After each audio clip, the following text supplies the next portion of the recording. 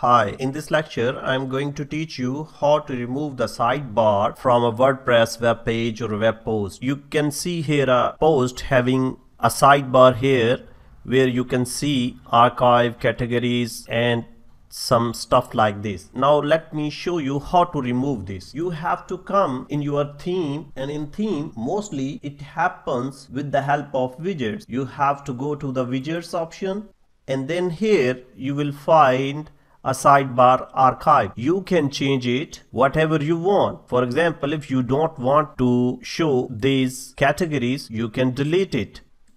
Do not want to show recent post, then you can delete it. Here you can find archive, categories, recent post.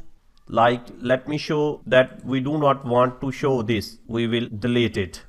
Now when you will refresh this, you can see we have no more recent posts here. So in this way, you can easily change or delete some parts or all from the sidebar with the help of widgets. Thank you very much for watching this short tutorial. Keep watching the next one.